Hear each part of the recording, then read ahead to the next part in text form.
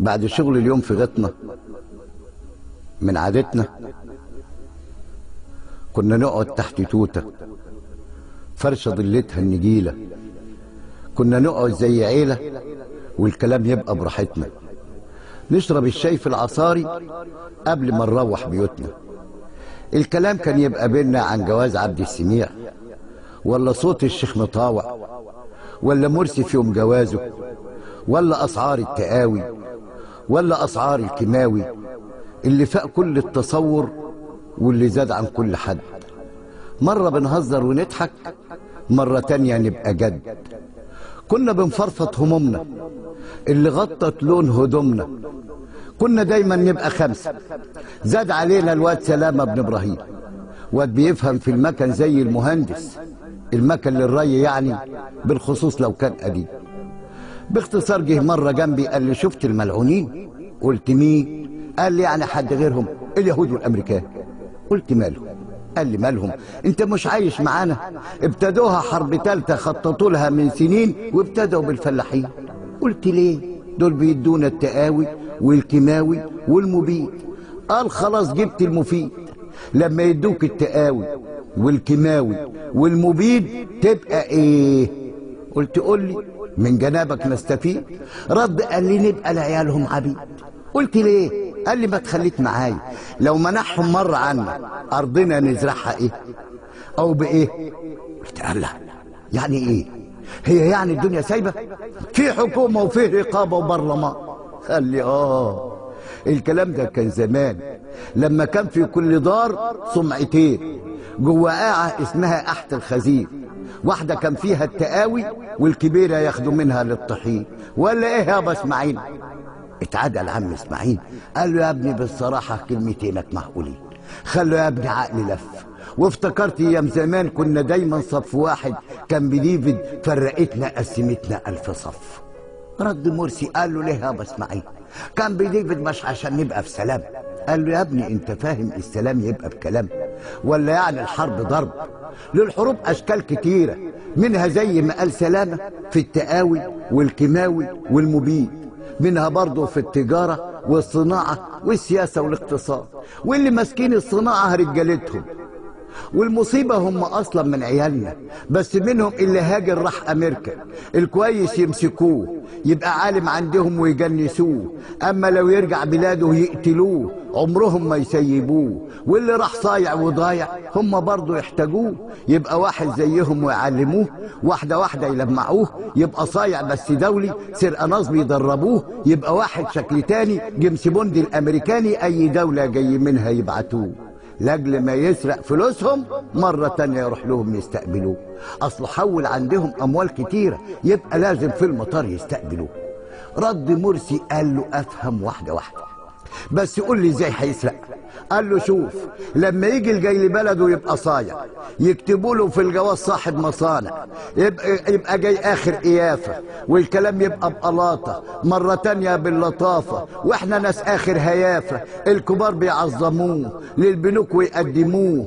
بعد فترة بالخديعة والرشاوي يشتري منا يشتري منا المصانع من فلوسنا في البنوك. قال له قول يرحم أبوك. قال سلامة. شوف كلام عم إسماعيل.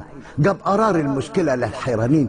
شوف كلام أهل النباهة وإحنا بنقول الحكومة إيه جرالها والبنوك عايشة في متاهه قول وكمل قول كمان خبت البنوك قول كمان رافض فوق. رد قال له بعد فترة يطرحوها تبقى أسهم ويبيعوها والعمالة يسرحوها واللي زيي واللي زيك مرة تانية يشتروها لما يقبض هوب يلا يروح لبرة قبل ما يسدد بنوك. ساقية ساقية دايرة يا ابن عمي مش كفاية مصوا دمك قال كمان وبيحلبوك. رد مرسي بأعلى صوته قال له ينصر دين أبوك قول وكمل. هي دي حرب التجارة والصناعة والسياسة والاقتصاد. كنت مش عارف سببها. لما تسألني الولاد قال سلامة للحروب أشكال عديدة. منها نبقى على الحديدة واقتصادنا يروح شتيت اللي بيبيع الهوا واللي يعمل بسكويت واللي يعمل زيت وشامبو واللي يعمل أي حاجة في أي حاجة يبقى رامبو والحكومة تبقى جنبه. ده القطاع العام باعوه والقطاع الخاص يا مرسي يدلعوه سلطوه يكتب نفسنا واللي ما يسبح بحمده يرفدوه. رد زيد عبد الرحيم قال يا مرسي كله تخطيط أمريكاني. شفت حرب الميكروبات؟ كلها أمراض بلاوي. ما تلاقيش حتى المداوي كان زمان فشل الكلاوي. ولا جه من الهرمونات. سمموا حتى النبات. ولا شحم وزيت مخلط. لما ياخد مكسبات يبقى طعمه زبدة بلدي. شوف خازوق المكسبات. والمصيبة نزلوا لها إعلانات. شجعوها الفلاحات. والسموم نشربها وبطعم الفواكه. قال له محمود الكيلاني ولا حرب الإعلانات. شفت ترقيص البنات اللي بيصير الغرايز للشباب ولا العجايز؟ كله متخطط وجايز لأجل حرب المسلمات والمشايخ كلهم آخر سكات. قال سلامة هي دي. هي دي كانت بداية. والبداية وصلتنا للنهاية. البداية في التقاوي والكيماوي والمبيد والجديد في التجارة والصناعة والسياسة والاقتصاد. حتى تعليم الولاد الفساد غطاه وزاد. والقيم الناس باعوها بالدولار هم اشتروها. وبفلوسهم مزعوها. قطعوا توب العقيدة. القيم يا خلق القيم توب العقيدة. العقيدة النهاردة واقفة مرض زلط مرض بهدلوها في العراق بهدلوها في الشيشان ولا في البلقان عموما ولا في صبرا وشتيلة ولا في غزة ورام الله. لسه بدري غير رام الله. ده الليالي السوداء هلة. شفتوا كم حجم الدمار؟ للغلابة في كندهار ولا إحكام الحصار. والعرب زي الأجانب وال- والعرب زي الأرانب والأجانب زي غول. حد شاف تدمير كابول؟ قلت قول. قول وكمل. ما انت متسلط علينا لاجل ما تنكد علينا. وانت عارف الطوارئ حكمها ما تزيدش عنا يعني خمسة.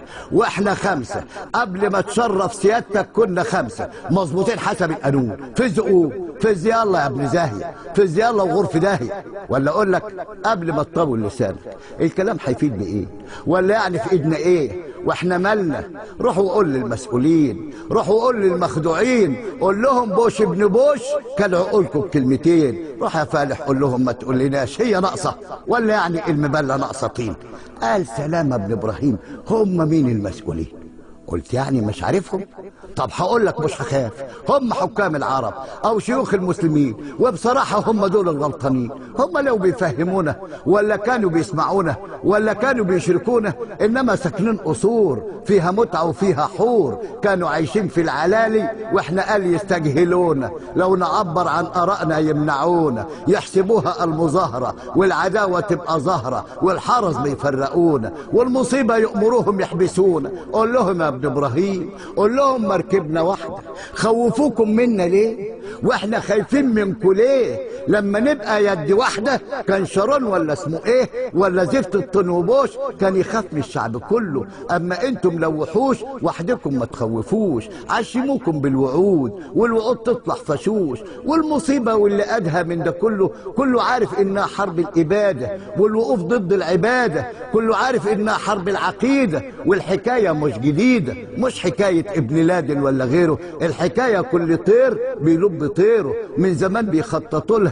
مهدوا لها من زمان. فرقوا بين الجيران. روحوا قول يا ابن إبراهيم روحوا قول للمسؤولين. حربهم حطول في آسيا والعداء للمسلمين. قول لهم راح نعمل إيه؟ ولا عايزين منا إيه؟ لما يبقى الكل خايف نعمل إيه؟ وأنت شايف كله شد الحف ونام واللي دافن كل راسه في الرمال زي النعام. سك على الشاب الخضرة. ادلق الشاي في القناية في الزقوم. ميت يمين ما تعدي تاني. ما أنت شارب شاي معانا. قعدتك أخبار بغم.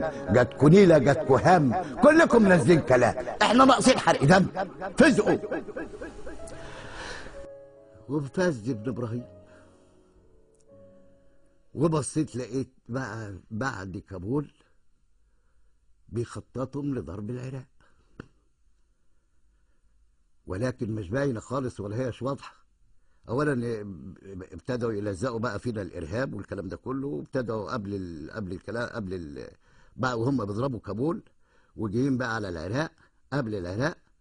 فطبعا العراق كانت في 2003 في 2002 كان في مؤتمر مؤتمر قمة في بيروت. فقبل مؤتمر القمة جه